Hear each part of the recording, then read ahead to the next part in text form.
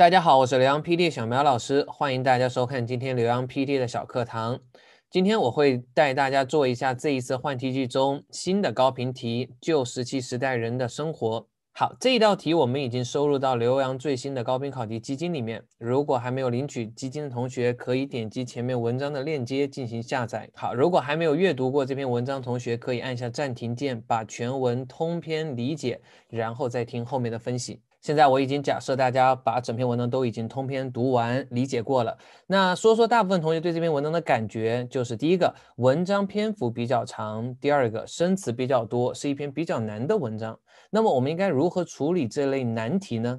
首先，第一个要建立起答题信心。其实越难的文本，答案很有可能很简单，直接从原文中就能找到。这道题就是这样的。那越简单的文本，答案有的时候其实并不友好，需要自己真的完全理解、总结大意。所以碰到难题的时候，一定要运用自己考试的小聪明，从文章中去找到答案。第二，信号词极为重要，它能有效提高我们对文本重点意思的判断，帮助我们更好的筛选文章内容，找到重点信息。信号词还能够帮我们避开生词，其实很多不认识单词和解题并无关系。好，下面我们就来逐段逐句的分析题目。好，我们一起来看一下全文第一句话。第一句话就在说旧石器时代人的生活，它是从三方面去了解的。第一个就是饮食，第二个就是从工具和武器，第三个是他从他们的居住的地方。debris，那 debris 这个单词是一定要会的，和解题直接相关，必须要背。那第一段适应的句子，文章虽然有点难，但是呢，你会发现它有大量的信号提示词，而且都是你认识的。比如说 hunter gatherers，那就表示他们是猎人，他们是采集者，他们可能捕猎 big 好 big herbivores 这个单词本身表示食草动物，但是会有点难啊，我不一定认识这个单词，但是你会发现后面几个单词全部都是饮食词汇。啊，这蓝莓、树叶、树根、野生的水果，还有一些香菇，这都是你的食物，所以就跟你的 meals 直接呼应。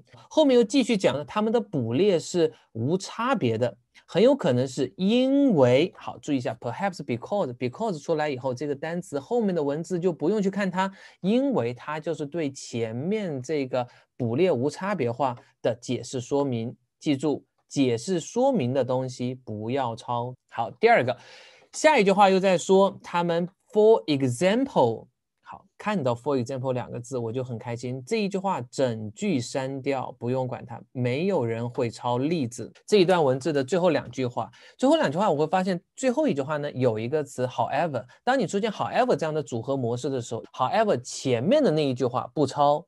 啊，表示前面那句话表示虽然，对不对？However，本身所在的这个句子一般是会抄它的，因为虽然后面讲的重点是什么？但是怎么样？那但是永远是出重点信息。那为什么我们这道题里面不会去抄 However 后面的句子呢？因为 However 后面又是一个例子，它讲的是三文鱼的概念，三文鱼也是饮食中的一个啊，所以当你是在例子方面的转折的时候就没有用。如果是观点内容转折的话，永远记住抄观点。However 后面的句子啊，但是出重点，记住这个游戏规则。通过分析，我们可以知道整个文章第一段剩余的句子都可以不用抄，因为它在呼应全文第一句话中的 meals 饮食方面的问题。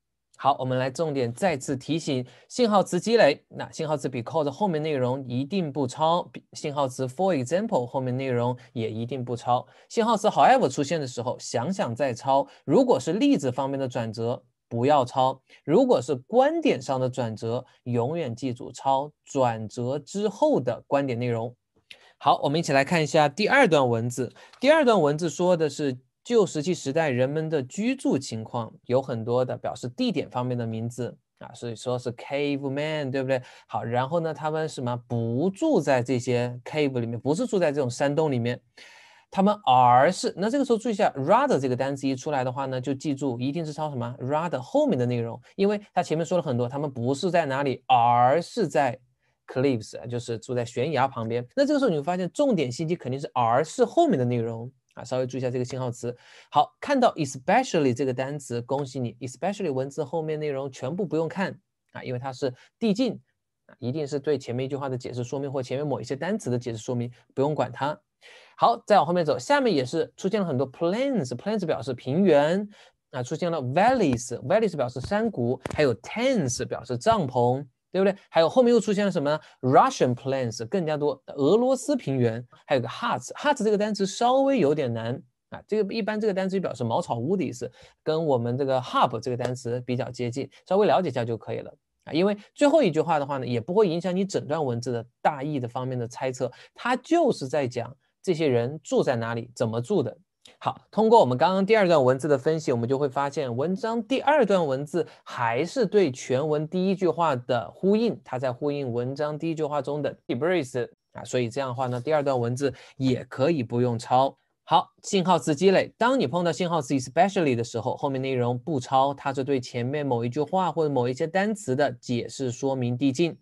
第二个。碰到 rather 这个信号词的时候，前一句话内容不抄，抄 rather 后面的还是一个概念。虽然怎么怎么样，但是对，永远记住转折之后出重点。你学会了这样的思维，就能够有效的帮助你去略过你的生词。第三段文字可以看到，刚刚给大家标注出来的红色字体，那也是出现了很多什么？工具和武器，比如说有矛有剑，对不对？还有什么？还有武器和工具。那最后一段文字又说做了很多 knives，也有 tools。所以从这整段文字来看的话呢，你就大概能看到从头到尾都是在讲工具和武器方面的内容。那 flint 这个单词，napping 这个单词我都不太认识，不影响你做题，从头到尾你就已经能猜到它是在讲武器。那我们可以通过分析就知道，最后一段文字的话呢，也是对全文第一句话的呼应，它在呼应那一句话里面的 tools and weapons。